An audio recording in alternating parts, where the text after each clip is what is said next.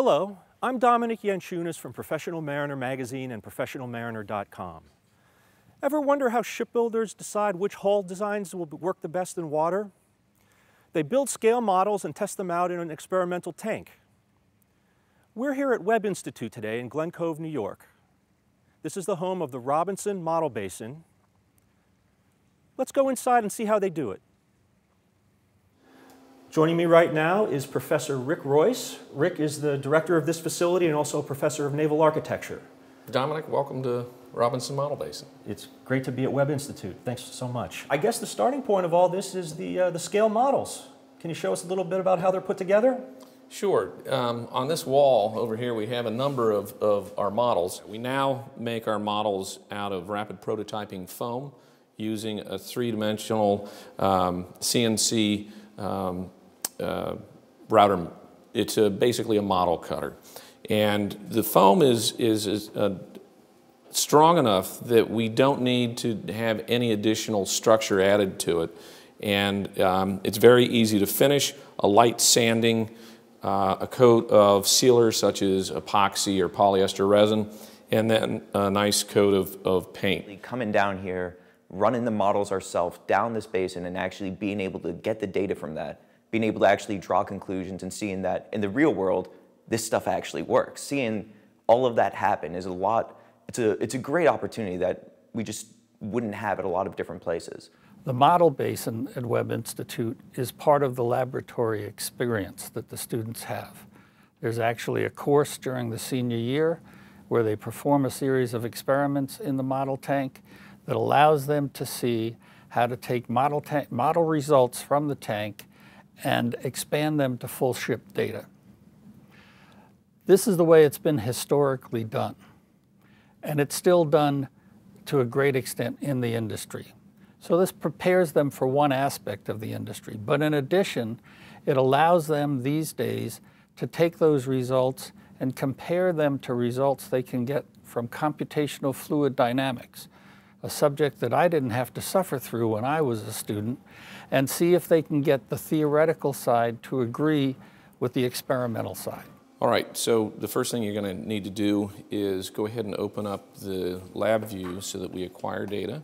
Hit run, or F1, yeah, to home position, enter. And move the model to the home position. So this post has to be between those two limits. So the purpose of these tests are to evaluate the bulbous bow. Mm -hmm. And um, with the bulbous bow, you have to pick a speed that you want it to work at. And these vessels usually transit from, let's say, New York down to the uh, Fort Lauderdale area or down into the Caribbean okay. at about 12 to 13 knots. So we size that bulb for that particular speed. Now the idea is that the bulb's going to create its own wave the bow creates a wave, okay. and we want destructive interference of the two. So here we go.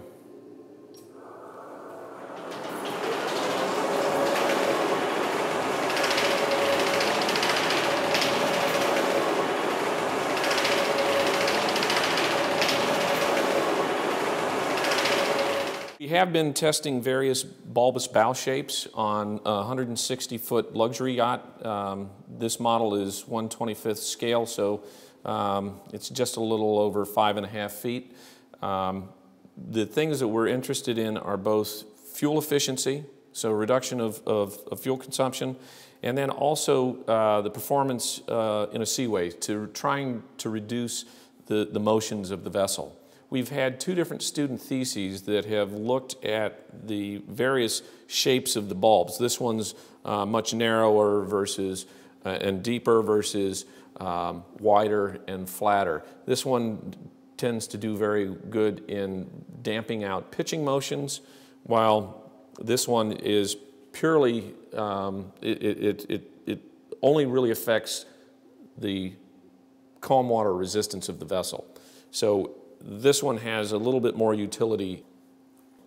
With these particular uh, series of bulbs, um, in the tank we've found that we're seeing uh, upwards of 18 to 19 percent um, reduction of the resistance. On a similar series of tests that we have done on another luxury yacht where we were seeing that level of reduction in the tank, we were actually seeing well over 20% reduction in fuel consumption.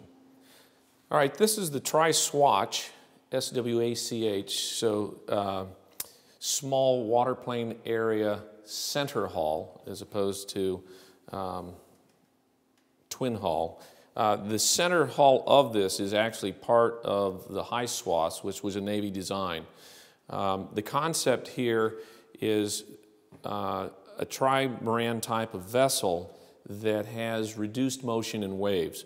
The fact that the um, portion of the vessel that's coming up through the water plane is reduced means that it will not um, have as large emotions as a traditional monohull. Uh, part of this work, and, and, this work is funded by the Office of Naval Research, part of what Webb has been involved with is looking at different um, positions of the side hulls or AMAs, both uh, transversely and laterally. Um, we've also been looking at different variations of, of the side halls in conjunction with uh, George Mason University. So this is a, a, a, kind of variant where we have an asymmetric side hall. Uh, it's cambered. This is obviously the port hull. Um, the idea is to try and minimize the interference between this hull and the center hull. We have tested um, a flat plate with no coatings on it um, and gotten the frictional resistance as a function of, of speed or Reynolds number. And then we've taken this same flat plate, we've immersed it um, in Long Island Sound for a one week period. And during that time, it, uh, some slime started to grow on it. Uh, we came back, we tested it, saw an increase in the frictional resistance.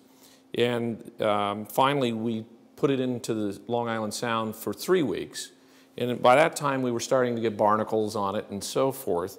And uh, we saw a tremendous increase in the resistance. We hope you enjoyed today's visit to the Robinson Model Basin. For more on naval architecture and marine engineering, check out Professional Mariner Magazine's annual American Tugboat Review this July, and in the fall, American Ship Review. For daily news updates and much more, visit professionalmariner.com. And why not join the conversation? Like us on Facebook and follow us on Twitter. From the Webb Institute in Glen Cove, New York, I'm Dominic Yanchunas.